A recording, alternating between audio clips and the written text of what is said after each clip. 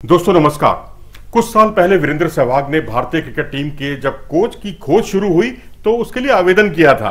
हालाँकि उनका सपना पूरा नहीं हो पाया, लेकिन अब उनका सिलेक्टर बनने का सपना पूरा होता हुआ दिख रहा है। जी हाँ इस वक्त सिलेक्ट सिलेक्शन कमेटी जो है भारतीय क्रिकेट टीम की, वो उन्हें एक सिलेक्टर की तलाश है, क्योंकि चेतन शर्मा की जगह जो खाली हुई है, रिक्त हुई है, उस पर कोई चाहिए चयन करता, क्योंकि उत्तर क्षेत्र से कोई भी चयन करता भारतीय टीम में नहीं अगर आप देखें तो सुब्रतो बनर्जी हैं, सलील अंकोला है, श्रीधर शरत हैं, शिव सुंदर दास हैं, और शिव सुंदर दास जो कि भारतीय टीम के सलामी बल्लेबाज हुआ करते थे, उन्हें इंटेरिम चेयरपर्सन की जो है ज़िम्मेदारी अभी फ़िलहाल सौंपी गई है जब तक कोई नया चयन करता नहीं आता और अगर कोई उनसे वरिष्ठ आता है उनसे ज़्यादा टेस्ट मैच खेलने वाला कोई खिलाड़ी आता है तो उन्हें ये ज़िम्मेदारी मिल सकती है सिलेक्शन कमेटी के चेयरमैन की। लेकिन अब यहाँ पर जो पोस्ट निकाली है बीसीसीआई ने उसमें आ, कुछ कंडीशंस रखी हैं जैसे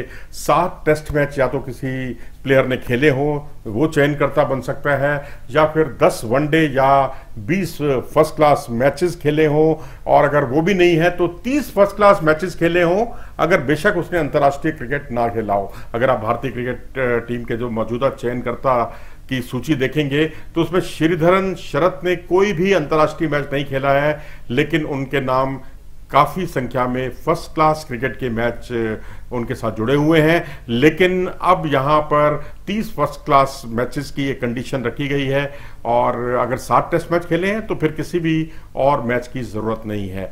तो अब वर्ल्ड कप को करीब तीन, सवा तीन महीने अभी दूर हैं। उससे पहले ये आवेदन किया जाना एक तरह से जो पूर्व खिलाड़ी हैं, उनके लिए एक सुनहरा मौका रहेगा। और वीरेंद्र सहवाग के बारे में खूब चर्चा हो रही है कि वो इस बार प्रबल दावेदार होंगे इस पद के लिए।